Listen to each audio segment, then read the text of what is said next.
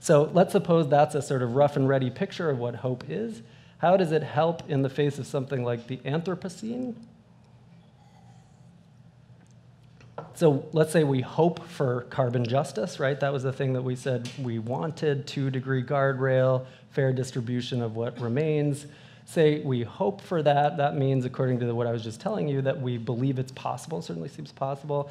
We want it. We even think we're morally required to go for it in this case.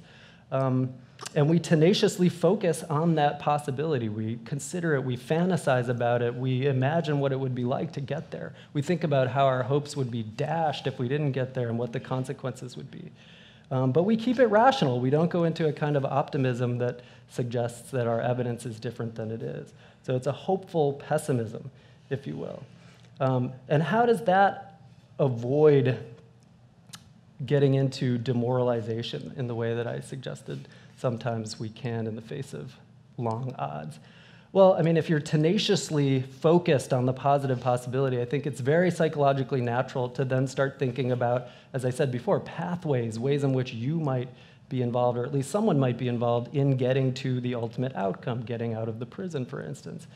So once you start thinking that way, you kind of build yourself and maybe your community, the people working with you, into the hope. So you start hoping not just for this outcome, but for that outcome and that I contribute to it in some way. So I hope to contribute through all of this effort to the bringing about of this outcome. So with respect to carbon justice, all the little things I try to do, I want them to make a difference, something we hear a lot from a lot of people, certainly my students. I want to, how do I make a difference? That seems really key, a kind of consequentialist picture. Now, I think that when we look closely at the odds and how much we can really do as individuals, even if we say, yeah, I'm hoping to make a difference for carbon justice, we could still face demoralization. We could still face these long odds and sort of think, yeah, actually, it's not going to matter much. So here's the final twist.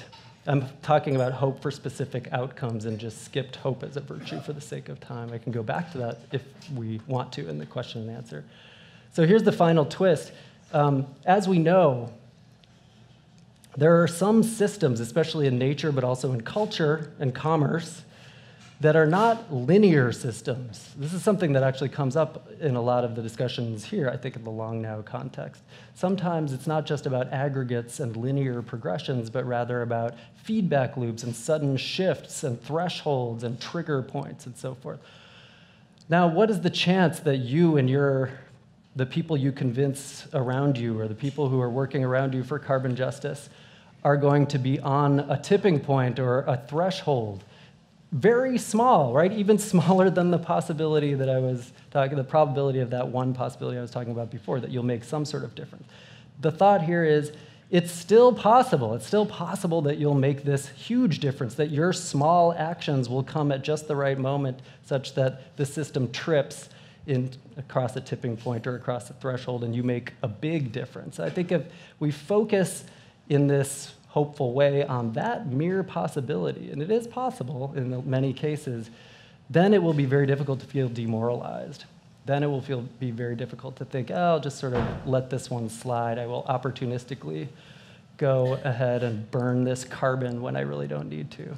Um, let me just finish by illustrating this with a case, and now we're going to go back to the food situation, which is what the book was in part about. So we know that industrial animal agriculture is one of the worst greenhouse gas producers. It's worse than the entire transportation sector combined. Um, we also know it's kind of more intuitive in this context to see what I was talking about with thresholds and nonlinearity. So there's a kind of chunkiness about the supply chain in a huge opaque system like this, where it's not the case that when I stop and get a chicken sandwich, uh, you know, which is made up of maybe one fiftieth of a chicken, um, depending on what other things they put in there, uh, that somehow 150th of a chicken dies, right? So it's not this direct correlation. Even if I have 50 sandwiches, it might not be the case that one chicken dies. There's you know, this thing going along, this system, and it hits thresholds, and at some point, some choice does have this big effect. 100,000 chickens are ordered, and the farmer produces them, and they become part of the 45 billion chickens that are processed every year. Um, So suppose I really care about the climate or about animals or about both, and I decide to give up on animal products. Um, facing these huge numbers makes it hard to be optimistic, makes it hard to think that you're going to be um, making a difference. That demoralization threat comes in. And what I want to suggest is that we can sort of generate, and I already sort of casually made it, but now I'm going to formally make it, um, a moral argument, what Kant calls a moral argument for lived hope that would help us avoid demoralization in this kind of case and in Anthropocene cases generally. So you can't get through a talk by a philosopher without one effort at a stepwise argument. So here's premise one. Oppie, this is the guy who's thinking about opportunistically, you know, he's demoralized and he's like, I'm just going to eat that chicken sandwich because it doesn't make a difference. I do care about the factory farm system. I'm morally mm-hmm. opposed to its continuation, but I'm tempted by the thought that if I make a difference, it's a minuscule difference, a tempting thought that we all have, surely. It would be demoralizing in that way that I was mentioning for Oppie to have, not to have some sort of hope that his eating choices or the choices of those he influences have a significant effect on the factory farm system. So I was suggesting, unless we can focus on the positive possibility that we make a significant difference, we might face demoralization.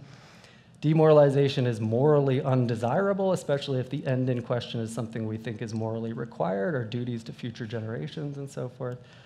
So, given the facts about the system that is chunky and not linear in the way I was suggesting earlier, suggest that there's a moral advantage in having rational hope that at least one of the food choices you make throughout your life, maybe you have 20 or 30,000 choices left, at least one of those choices is going to be a threshold choice where you actually get to decide whether the system shunts forward, whether those 100,000 chickens get ordered or not. The threshold chicken is yours at that moment. You don't know which, and so you sort of then try to abstain across all of your choices and have this hope that one of them makes a huge difference 100,000 chickens um, or not, depending on how you choose.